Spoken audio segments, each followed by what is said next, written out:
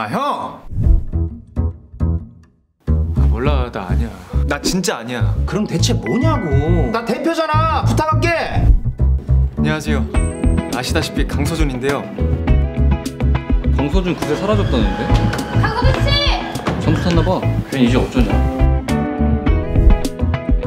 나 당분간 여기서 집콕해야 되는데 어차피 같이 살 세 입자 구하는 중이었잖아. 잘 됐지 뭐.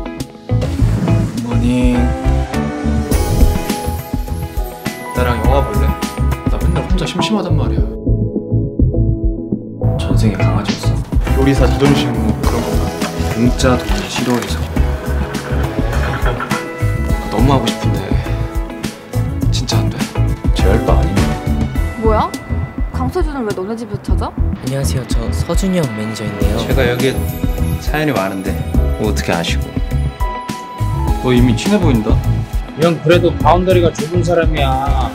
아무한테는 안 그래. 플로팅이 습관이던데. 나? 내가 언제? 한지호 요리사를 소개하겠습니다